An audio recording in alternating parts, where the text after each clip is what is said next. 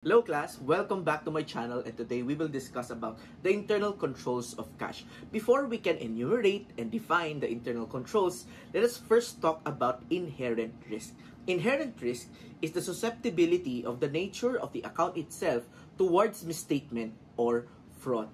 There are some assets which have higher inherent risks than others, one of which is our topic which is cash.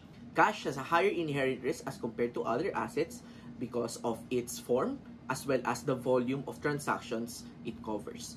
So for cash, when you take it literally, it's easy to put cash into your pocket, embezzle it, and then run away, right?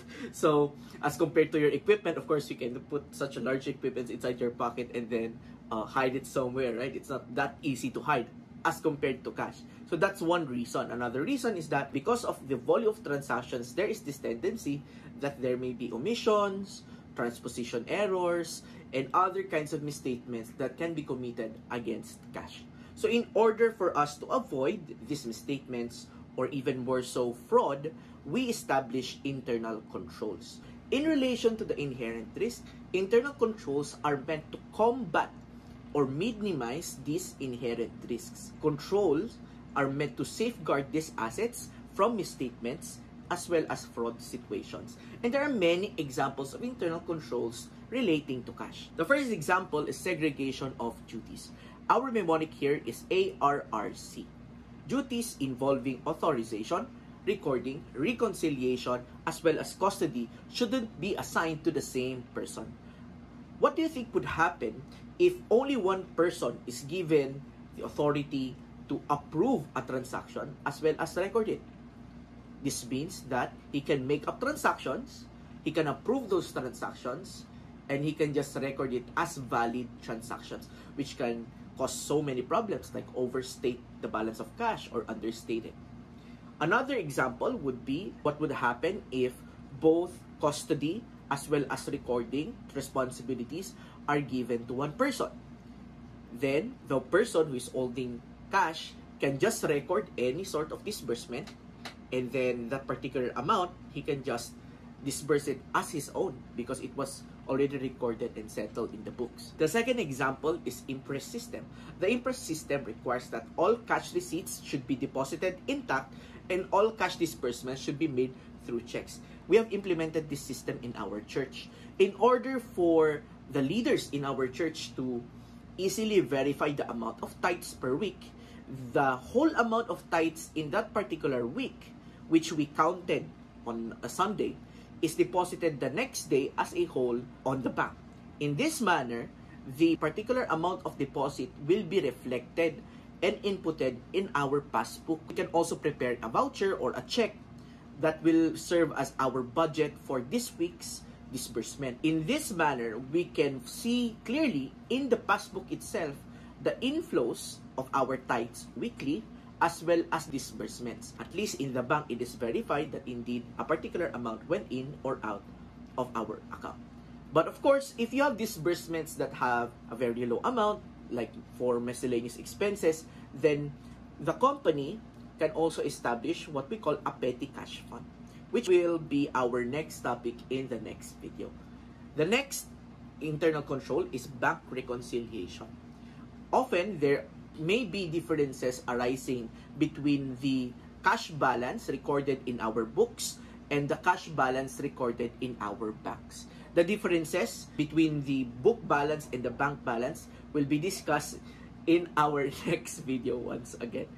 The next internal control is lockbox accounts. A lockbox is rented for a fee and customers are advised to remit their payments directly to the lockbox account. Without the lockbox, it will take a long time for us to receive collections from our customers because they need to deliver a check, we need to deliver the check to the bank. It will take a few days before that check is particularly clear, especially for customers that are coming from abroad. For lockbox account, it eliminates this problem or at least minimizes it in such a significant amount of time because it reduces your collection dates by assigning a lockbox in a particular bank in the area of the customer so that the customer can just deposit the cash itself to your particular lockbox account. At the end of the day, whatever has been collected in your lockbox account will be counted and deposited within the day. So it's very efficient, right? But of course, it's not free. When you plan to establish your lockbox account, you need to pay a certain fee per month. We can conduct a cost-benefit analysis whether the cost of paying for a lockbox account is worth it when we compare it to the amount of days that we will be reduced in our collection cycle. The next internal control is voucher system. A voucher is prepared for every cash disbursement to ensure that each disbursement is properly authorized. Voucher is made and requested by a particular department which requires a disbursement. It can be from the purchasing department of our inventory. It can be a department requesting for repairs in our equipment department or even our admin if they want us to pay cash to buy supplies. So, whichever department requires disbursements or purchases of any kind, then they will prepare a particular voucher. This voucher will then be submitted to one particular department which is assigned to approve the transactions. So, in order for the voucher to be approved, not only will these requesting departments pass the voucher, but they will also attach supporting documents such as invoice, purchase order, or even delivery receipt.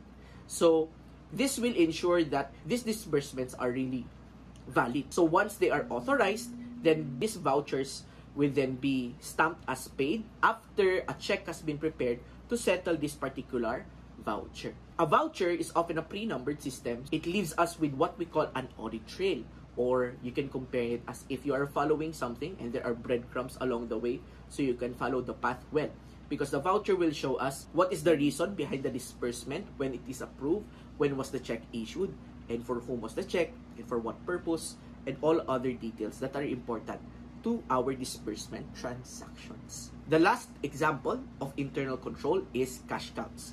Cash counts are periodic or surprise cash counts that can be conducted in order to ensure that the cash balance indicated per books is indeed the same as the amount of cash in our safe, in our vault, or even in our petty cash box. I have tried this during my audit days. I tried observing cash counts uh, for our client, uh, which is a bank.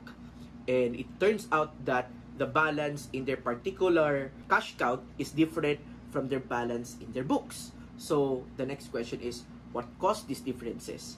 It could be a mistake in recounting, so we recounted again, and then it turns out that it's still the same. And then upon investigation, of course, it's not automatically a misstatement. It's merely a deviation when there is a difference between the cash count balance and the book balance. But after investigation, we found out that, oh, it's because some of this cash has been already deposited to their headquarters or to another office, which was properly accounted for.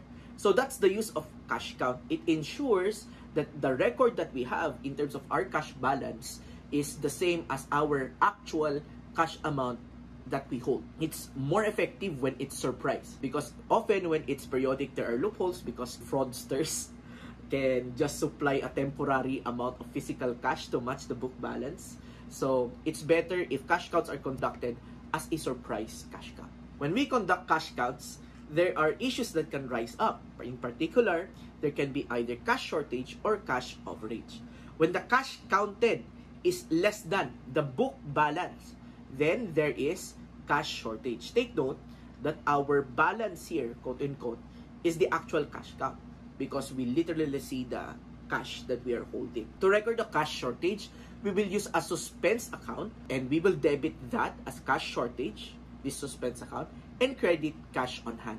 Take note that this suspense account will really not appear in the financial statement throughout the internal audit or external audit period these suspense accounts will be eliminated depending on why this cash shortage happened. It can be because it was the fault of employee. If that's the case, then the employee must pay the missing cash. Cash shortage will then be eliminated. It will now be credited and a receivable from employee will be debited. However, if the investigation was without merit, then this cash shortage is eliminated and because our cash balance decreased, it will be accounted for as a loss. Another issue that can rise up is cash overage, wherein our cash counted is greater than the book balance.